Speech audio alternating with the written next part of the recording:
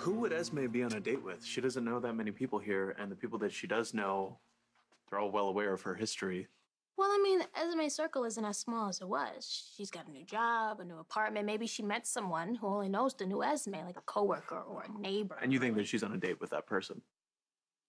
It's possible. Would that bother you if she was? No, no, come on, no, absolutely not.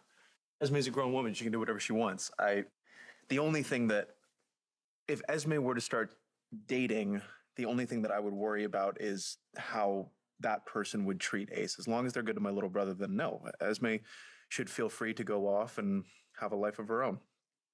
Good answer.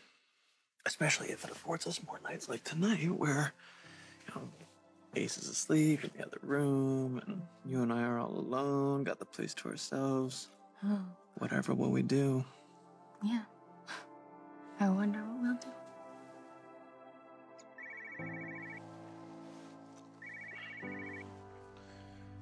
Speak of the devil. Okay, I'm gonna get us something from the kitchen. Hello? Spencer, I'm so glad you picked up. There's there's something I need to talk to you about. Something wrong?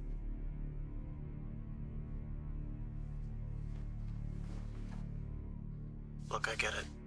This is your first night away from Ace after moving into the new place, and um, you're naturally worried about it.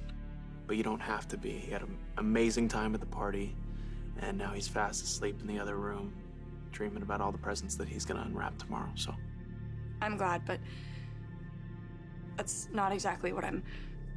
Hey, I'm making eggnog. I like mine plain, but do you want a little bit of cinnamon in yours? this won't take long, I promise. It's fine. It sounds like there's someone else there, so I'll make this quick. I just wanted to tell you that I, What is she calling about? I don't know. Just I, this isn't gonna take long, okay? Hey, Esme, you still there? What do you want me to know? I just wanted to let you know that I am not going to be picking up Ace tonight. He can wake up with you on Christmas morning, and I'll pick him up later tomorrow. Really? Wow. Okay. Um. Yeah, that's great. I'd love to be able to celebrate Ace's first Christmas morning with him. Uh, are you sure that you don't want to take him home? Positive. Merry Christmas.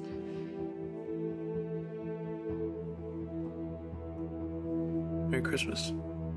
Okay, what was all that about? I'm not sure, but I'm starting to wonder maybe Esme does have a heart after all.